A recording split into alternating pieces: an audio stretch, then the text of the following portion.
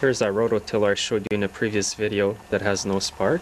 Today I'm going to be taking off this cover, the flywheel. I'm going to sand the points and if I have spark then that's good. If not I'm going to replace them. So first of all you're going to need to remove the bolt right here and there's one over here and there's one on the side of the cover over here. So all these bolts are 7 16ths. Now on these older engines they have a throttle cable so you're going to have to loosen this screw right here and just pop the cable off like that.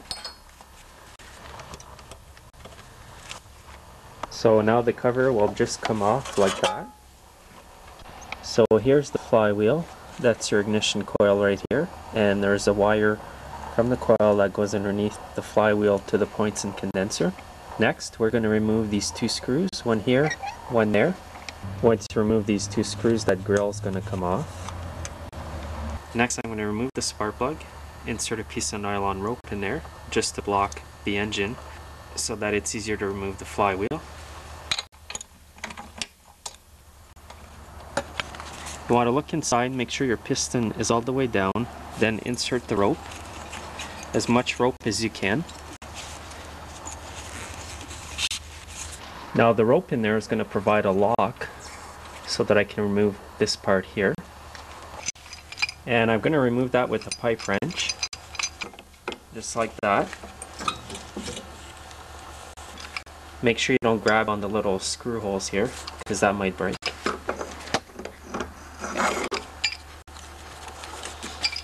So you want to remove this completely. Now to remove the flywheel, I've got my air hammer and a pry bar. I'm just going to insert the air hammer here and then pry up a bit at a time, not too hard, and the flywheel should come off.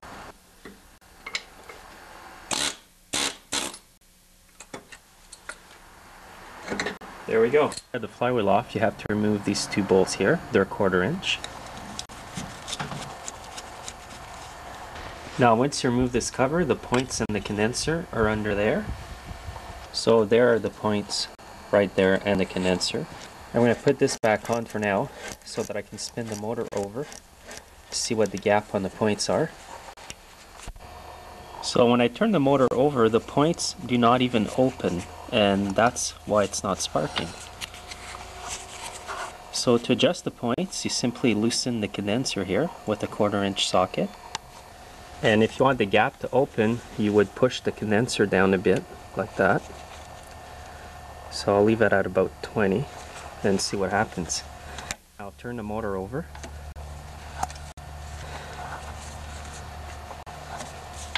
And you can see they're opening and closing. So I'm going to set the points at 20 on my feeler gauge. Just by putting the gauge in there and I've got them open too much. I'm going to loosen the condenser again and I'm just going to push it up with the feeler gauge in between the points and the condenser and then tighten up the bolt. So now I've got them set at 20 and when you put the gauge in it just goes in snug. It's not too loose or too tight in there and that's perfect. Now I'm going to turn the motor over to close the points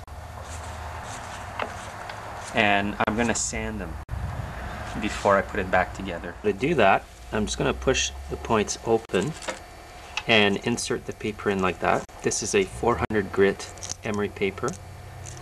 Try not to get your fingers on the paper so that it doesn't leave oil on there. So insert it in like that and just go back and forth.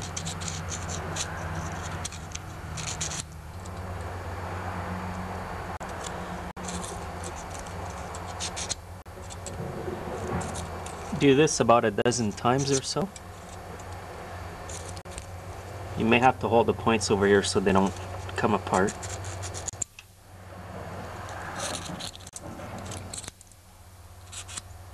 So when you look at the points here, what you want to have is them clean in between.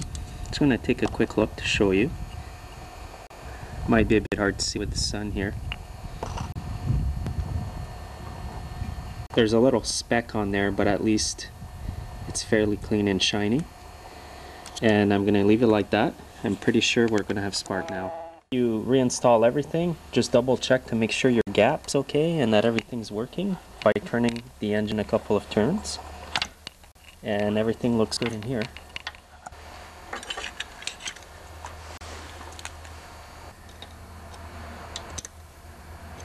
If you want to on this engine, when you put the cover back on, you can put some RTV silicone where the wires go out just to prevent the water from getting in there. It's especially critical if it's a horizontal engine. Before you put it back on the flywheel, make sure the keyway is good. So all you have to do now is line it up with the groove on the shaft.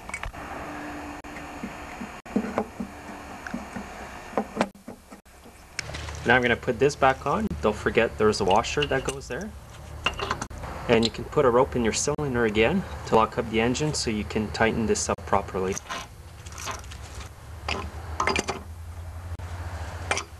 Next, want to make sure you put this grill back on.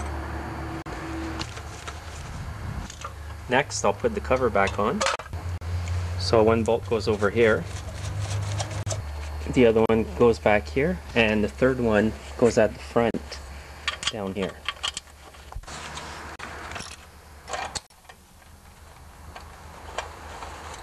Now your throttle cable, it's going to go back under the clip here.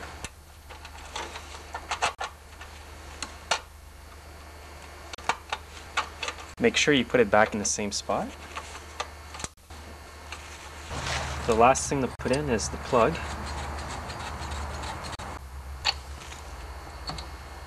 So it's all put back together. I've got fresh fuel in it and we'll do a cold start, to see how it works.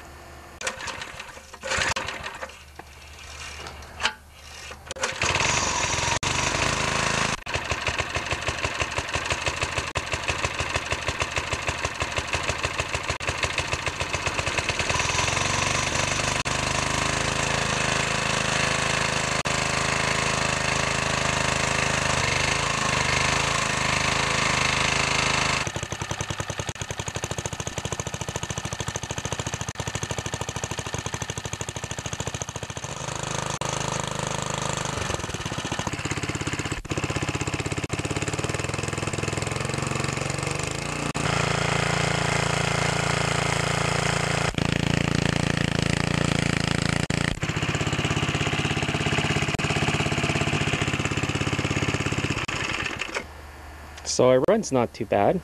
At least I know the ignition problem is fixed now. But it has a bit of hesitation sometimes when you throttle up. So I assume that the carburetor here is going to need a good cleaning. So in my next video, I'll be taking this apart, checking the diaphragm, and checking to see if there's any dirt in there. So we'll see you then.